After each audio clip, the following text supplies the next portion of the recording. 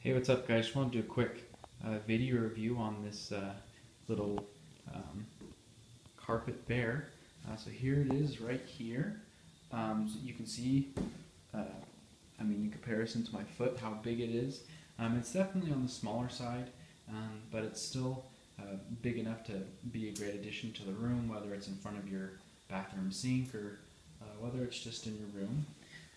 As far as the texture, um, it's kind of a rougher carpet. Um, the seams are all um, nice and tight. They seem good quality. Um, as far as the back of it goes, I mean, just your typical carpet. It's got kind of a kind of a grippy, um, sticky backside, which is great. Um, the only um, frustrating thing is when it comes rolled up, it's got little kind of um, curvatures to it um, that I'm sure will go away um, after time.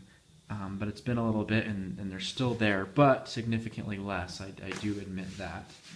Um, so yeah. So just to sum it up, it's uh, it's uh, it, as you can see, it doesn't. It's pretty grippy. It doesn't slip, which is great. Um, it's pretty. I mean, nice size. Maybe on the smaller side. Um, great color. It looks great. Um, we get comments on it. Uh, so yeah, that's that's my video review. I hope this kind of gives you a good um, idea of, of what it looks like. And just to finish off, I'll give you another quick look at the seams and everything. But uh, yeah, so definitely a, a uh, seems to be a high quality product. So thanks for watching.